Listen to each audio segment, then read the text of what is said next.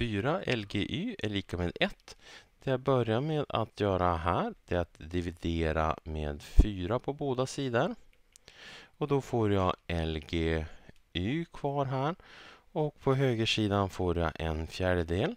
Sedan så tar jag 10 upphöjt till på båda sidor och då får jag att y är lika med 10 upphöjt till en fjärdedel som är ungefär lika med.